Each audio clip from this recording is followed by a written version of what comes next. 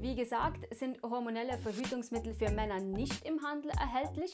Es gibt aber diverse Studien, die zeigen. Hallo und herzlich willkommen zu Klar erklärt. Ich bin Nathalie und heute sprechen wir über Verhütungsmittel für den Mann und wagen dabei auch einen Blick in die vermeintliche Zukunft.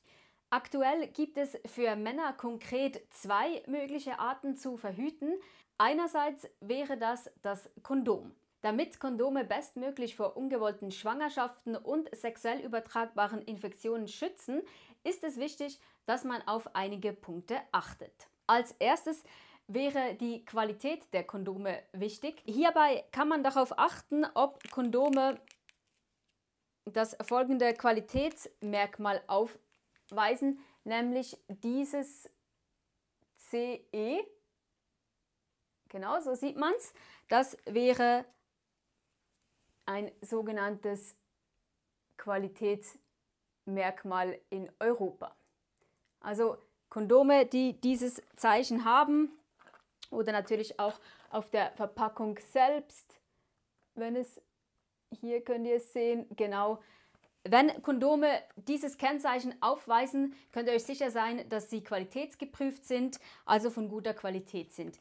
Das kann äh, bei günstigen Kondomen der Fall sein, genauso wie bei teuren. Die Höhe des Preises ist also nicht zwingend ein Indiz für gute oder schlechte Qualität. Weiter ist die Lagerung der Kondome zu beachten. Man sollte Kondome nicht der prallen Sonne aussetzen und man sollte auch darauf achten, dass die Verpackung keiner Reibung ausgesetzt, beispielsweise ausgesetzt ist.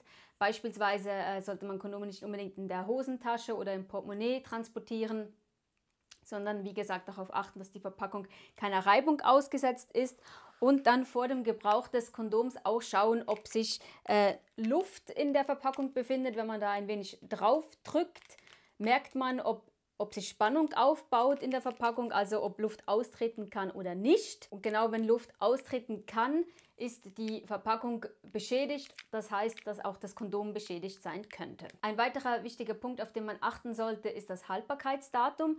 Ähnlich wie bei Lebensmitteln auch befindet sich auf Kondomen ein Haltbarkeitsdatum. Hier beispielsweise auf der Rückseite der Verpackung 10 2022, also bis Oktober 2022 wäre dieses Kondom haltbar. Oder hier ein abgelaufenes Exemplar, kann man es erkennen, August 2020. Achtet also auf das Datum bei Kondomen.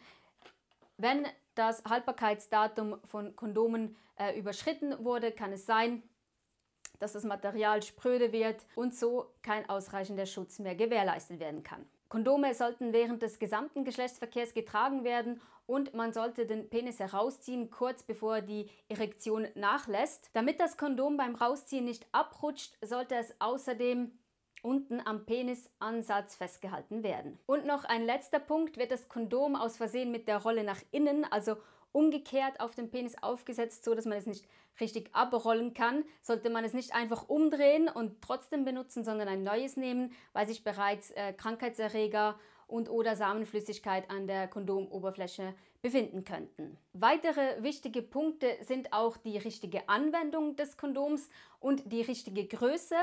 Hierzu habe ich bereits einmal ein Video gemacht. Ich verlinke es euch unten in der Infobox. Kommen wir zu der zweiten Methode, die es aktuell für Männer zur Verhütung gibt und das wäre die Sterilisation oder spezifisch beim Mann die Vasektomie. Diese Verhütungsmethode ist extrem sicher, wobei sie gut überlegt sein sollte, weil man wird unfruchtbar gemacht. Das heißt, man muss sich also absolut sicher sein, dass man keine Kinder will oder sicher sein, dass die Familienplanung bereits abgeschlossen ist. Eine Vasektomie ist nämlich, wenn überhaupt, nur mit aufwendigen chirurgischen Maßnahmen reversibel, also wieder äh, rückgängig zu machen. Wer sich dafür interessiert, sollte sich bei seinem Arzt oder seiner Ärztin umfassend informieren lassen. Bei einer Vasektomie produzieren die Hoden im Anschluss weiterhin Spermien, diese gelangen einfach nicht mehr ins Ejakulat.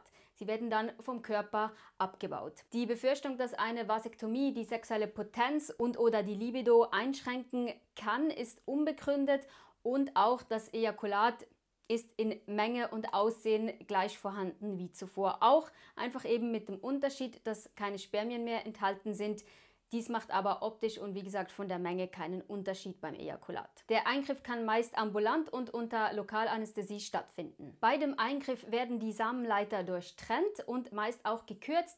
Hierzu gibt es verschiedene Techniken. Die Samenleiter können äh, mit Hilfe von Hitze verödet werden oder auch abgebunden werden. Auch hier kann man sich bei seinem Arzt oder seiner Ärztin genauer informieren. Drei Monate nach dem Eingriff wird ein sogenanntes Spermiogramm erstellt. Hier wird überprüft, ob sich die Spermienanzahl im Ejakulat auf den gewünschten Richtwert reduziert hat. Bis dies abgeklärt ist, muss man auf anderweitige Verhütungsmittel zurückgreifen oder auf Sex verzichten. Werfen wir nun einen Blick in die vermeintliche Zukunft und hierbei schauen wir uns zuerst hormonelle Verhütungsmittel für den Mann an. Bisher, wie gesagt, sind hormonelle Verhütungsmittel für Männer nicht im Handel erhältlich. Es gibt aber diverse Studien, die zeigen, dass hormonelle Verhütungsmittel für Männer theoretisch möglich wären. Verhältnismäßig gut untersucht sind hormonelle Methoden, die die Spermienproduktion unterdrücken. Am besten untersucht sind wöchentliche oder monatliche Depotinjektionen mit Hormonen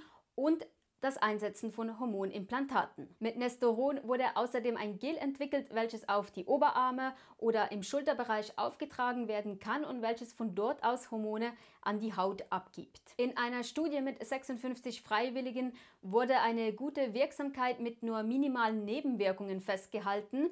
Eine weitere Studie wurde 2018 gestartet, Ergebnisse sind für 2022 vorgesehen. Für die Pille für den Mann gibt es verschiedene Ansätze, eine Markteinführung ist jedoch derzeit nicht in Sicht. Kommen wir zu den nicht hormonellen Methoden. Diese scheinen bei der männlichen Empfängnisverhütung als vielversprechend, da sie gezielt wirken und somit weniger Nebenwirkungen verursachen würden. Beispielsweise weiß man, dass Vitamin A essentiell für die Bildung von Spermien ist. Am Menschen wurde auch bereits eine Substanz erprobt, welche den Stoffwechsel von Vitamin A hemmt und auch bei Tierversuchen aus den 80er Jahren zeigte sich, dass mit diesem Prinzip vorübergehend eine Unfruchtbarkeit erreicht werden kann, ohne bedeutende Nebenwirkungen. Bisher hat es allerdings kaum eine Substanz in die klinische Phase der Entwicklung geschafft.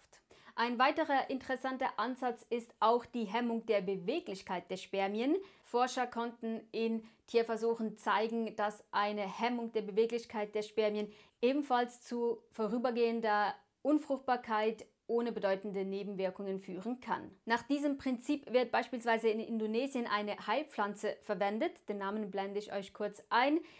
Der genaue Wirkmechanismus ist jedoch nicht bekannt. Ebenso fehlen bisher belastbare Daten zur Wirksamkeit und zur Sicherheit dieser Heilpflanze. Weiter wird an einem Gel geforscht, welches den Samenleiter verstopft vorübergehend und dadurch verhindert, dass Spermien in das Ejakulat gelangen können.